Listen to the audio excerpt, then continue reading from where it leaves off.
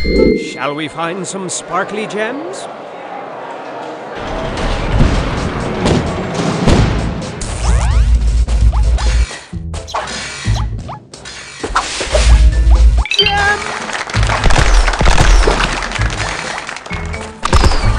What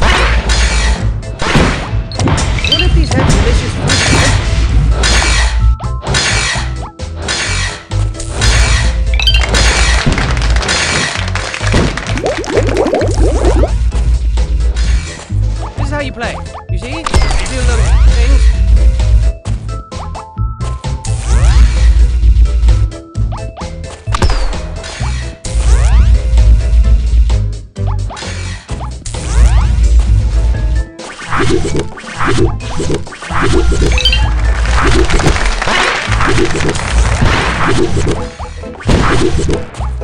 It's